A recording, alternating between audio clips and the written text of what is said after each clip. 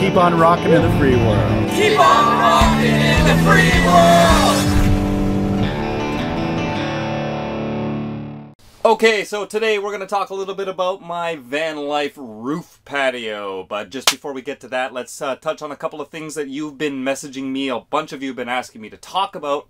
Uh, so I'm just going to run it real briefly for you. Number one, our wonderful Prime Minister Mick Groper Socks Blackface has decided to use the pandemic as an excuse to become a tyrannical dictator and try to steal a whole bunch of firearms from people across the country. So this is going to be an ongoing fight for a couple of years. I honestly don't think it's going to go anywhere. I know no one's going to hand anything in, but this is my response to when a government wants to take our guns. Well, there's still, you know, about 50 times as many guns that didn't make it on their scary black gun list, so I'm gonna go buy a new gun today.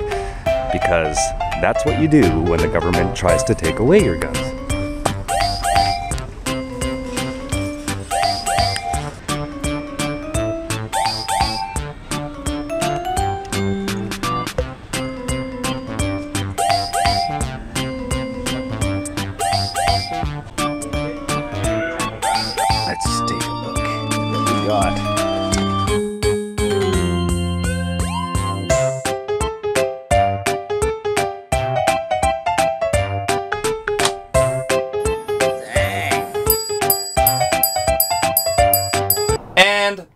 Everyone's asking me to do is a video on van life during this lockdown quarantine thing and all that. I already did a humorous comedy video on that showing how my life has basically not changed and and uh, just to extend on that, that's exactly what it is. So I, I can't really do a video on that because nothing has changed. I go to work, I go out, I go to restaurants, I go to the beach, I drive to different cities. Nothing has changed. And you know what? If we don't change our routines, there is no new normal. So that's the best way to take our freedom back. 100%. Oh, and of course, gotta support those people out there that are protesting to end the lockdowns and get things back to normal. Right on. Because I always feel like a UPS or FedEx driver when I drive with the uh, doors locked open because they always drive with their doors open. Except I should be wearing shorts, I think. They're always wearing shorts when they do that. You notice? I think they're just all showing off. And uh, thanks to the security screen I put over the back roll-up door, uh, on days like this, I just leave the door wide open as well. Hi, can I get a buffalo uh, grilled chicken wrap combo? Hell, my girlfriend and I even went to Walmart just to get out of the heat and get some air conditioning. Yeah. Air conditioning. And now that's essential if you ask me. Dancing at Walmart is also essential. Picked up some uh, some supplies for her uh, her plants. She loves gardening for her place, so we did a little bit of that. Looks really good.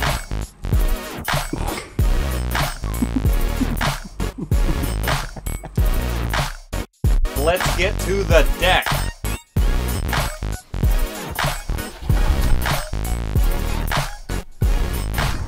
Hey, what's going on, everyone? It is beautiful. It has been very, very warm. Uh, we breached 30 degrees, so it was a sweaty day. I have a neighbor who pulled in next to me here. I recorded a whole video for you, but his generator was, was running. It was really loud. He finally shut it off, so I'm redoing the video now. So, this video is going to be all about something that many of you have asked me many times about my patio. Okay, so I've shown it many times before, and uh, I've shown it in action uh, at a music festival last last summer and stuff like that. So I just wanted to run it down for those of you asking, uh, because I'm getting questions about it. I guess because the weather's getting nice now and people are heading to the beach and stuff like that. So, um, how did I do it? And I've even been asked, where did you find the kit to build that? So it's not like that, guys. This was all home built, and of course, that's the best. Homemade is always the best way, and it's always the best quality. Even if they made a kit, I would probably avoid it. I would want to do it myself. So in this case, I spent about an, a month measuring, designing, and figuring this out. So this is a step van, and most of these step vans have the same aluminum roof. So it's a little dirty right now because it's you know it went through the winter, lots of rain, and I'm gonna have to pressure wash it. But um, they're all aluminum, and I can walk on it safely. There is a steel beam every two feet, and you can feel them. But I am not, I don't weigh that much. And what happens when you get four or five people walking on it? You're going to start bending the roof in ways you would rather not bend your roof. So I wanted a solid patio. So what I did here is I had two inch square aluminum tubing, cross braces, they're quarter inch thick, running across the van, side to side. To side. Now, what I did is I had holes. Um, you can probably see there. There's a big hole. Yeah, that's so I could put a ratchet in and um, and get bolts down into the steel beam, which runs along the side of the roof to hold the braces down. And then this is composite decking, so widely available and and a 25 year warranty, and it matches the dark gray theme that I'm doing on the inside of the van. Now, the railings. People are asking about those. So, what I was going to do originally was I was going to have a two foot railing all the way around, something that you can grab when you're sitting or if you're getting up, or just something to brace if you need, to, and then it could just be permanently because it's it's not that high up. Uh, you know, it, it going this much higher off the roof is not a problem. There are some truck campers taller than that. So that was my original idea. But then I thought, you know, it'd be really nice to have a, a, collapsible railing, and that's what these are. So these are made for construction sites and rooftops for buildings and things like that. Um, and uh, they're uh, sold, you know, through industrial sources. These I got from uh, Acklands. I believe, and um, they right after I got them, they discontinued them. But at least I got them when I did, and they're collapsible. And then I had it modified so I could bolt it into the uh, aluminum cross beams. So, this is what I wanted, guys. I wanted a patio that I, I don't like setting things up and taking things down. I'd like everything to be usable within a minute or so. And I drive all the time. I drive sometimes every day, twice a day, sometimes three times a day. It's not like I'm going to be setting something up and then having to take it all down all the time. Like, you know, in, so I, have seen some people's railings where they have to like connect the bars all together, then haul out the seats and everything. No, no, I'm not doing that I, because I'm, I, this is a daily driver. I need something that can just be there and be usable whenever I want. I get off work, I go to the beach, get up on my patio, enjoy the sunset. And I don't have to worry about setting anything up that's extravagant or difficult or takes time. So in this case, the collapsible railings, my boat seats, I, I, had to do all sorts of measuring and brainstorming online and then testing it in real life, and it all works perfectly. Now let me show you what I mean. so, in order to close up shop and hit the highway, all I got to do is this just loosen the seat, turn the seat that way, flip it down. They have a snap lock on them, okay? And then tighten it. There you go.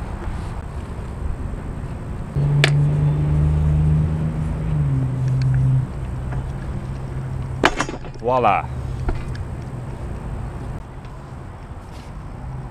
Voila. So my measurements all worked out perfectly. Look at that. The seats don't have to be removed. They're locked down tight. And I've been driving for almost a year now with this setup and it's fantastic. And it's still low, it's low profile. Uh, these are boat seats, so they're obviously made uh, to withstand far, far higher winds than they'll ever get on this, driving on the highway or driving through town. So they're fine, obviously. It's not that high. Uh, the average food truck with the big chimneys uh, for all their equipment is, is much higher than this. So it's perfect. As far as the railings go, they're not actually sitting right on the deck. Now they're, they're steel, so there's no need to lock them down. I have driven this van on the highway, on dirt roads, all over the place. They don't so much as bounce. They, they don't move at all. The weight keeps them down. But they have these little tubes which are, uh, I believe, for construction sites. I mean, they all, all these industrial railings have these tubes, and these rubber ends pop off, and it's to put papers in, as far as I know, because you, shove your work papers in there, whatever. But anyway, so what I did is I just bent them down a little bit, so when I put it down, that's what's actually sitting on the uh, deck, the rubber. The rail itself is floating. I can get my fingers under there. See? It's just that, holding it down. This was all done last year when it was really hot, and now it's getting really hot again. So, I mean, it's been up here all winter, and um, it's been a fantastic experiment here. You can see I cut out the, um, square there for the um, uh, chimney, I have some deck lights as well. You see those little lights there in the corners? So at nighttime I have a little bit of ambient lighting up here and also it's good for safety to have some lights up here. This is what it looks like in the travel position. And the roof vent's just a standard escape hatch. Anyone can buy those off eBay, Amazon, or any RV shop. Uh, I needed one that would fit in between the two the two foot uh, metal beams, obviously, to make it easy to cut into the roof. Uh, I'm going to replace the lid with an aluminum lid. Uh, lid. And um, the ladder, I did have a pull down boat ladder. I've replaced it with a proper. This is a telescoping uh, ladder. Uh, got it off Amazon. It's fantastic because you can raise it up to any height. I can also use it outside to get up on the roof easily if I want to clean things or work on anything. However, it's going to be a permanent install inside so that it just swings down or, or swings over next to my bed and then I can raise it up and come out to my roof. So that's a work in progress. There's my neighbor there. See, when I look at this, I, I look look at all that wasted wheel estate. I mean, that is a big rig. But if you've got a van like the size of mine, it's about 23 feet long, right? Something like that. You can double your wheel estate by putting a patio on the roof instead of a whole bunch of vents and random solar panel here and there and it's just kind of kind of I don't know cluttered and not really useful. I only did about a third of my roof to make my patio because I still have plans for the front of the roof and uh, maybe I'll do it a fake grass lawn. Maybe I'll have a lawn in front of my, my deck. Now that is for a uh, table which uh, I did, I think I did show that last year at a music festival. But it's just a, a standard pole with a plastic table with cu cup holders on top. Standard boat and RV table. It's the same thing. I, I just bought whatever one I could find. It, it works great, but it's a little too tall and the top of the table will probably blow off when I'm driving. And it kind of looks funny having a pole sticking up there. So I just I just take it inside. It only takes a few seconds to unsnap the table and put it inside and store it under my bed. So if I want a table out here, hey, I got a table out here.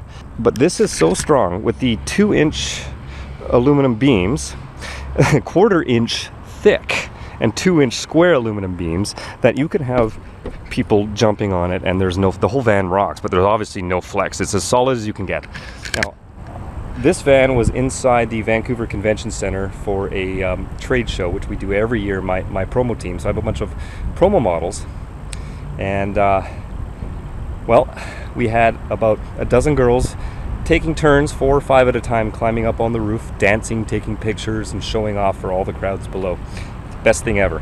But all the rest of the year, it's my private patio. So I've got a patio at the beach, I've got a patio camping in the woods. I've got a patio at the old Walmart parking lot. It doesn't matter. It's my private patio. So, you know, if you've got a van like this and you've got all this space on the roof, design it so that you can utilize it as living space. It, it just makes sense. One of the things that attracts me to boat life so much is that half of your living space is outdoors on the deck. And when you live in a beautiful place like here in BC, you want to get outside as much as possible. So I prefer sitting outside. So tonight I'm going to sit outside with my laptop and maybe do a little bit of work because I'm not on my laptop that often, but I really don't want to sit inside on a nice day or a nice evening and stare at a computer screen. I'd much rather be outside. So that's what I'm doing. Hope you're all doing well. Keep on rocking in the free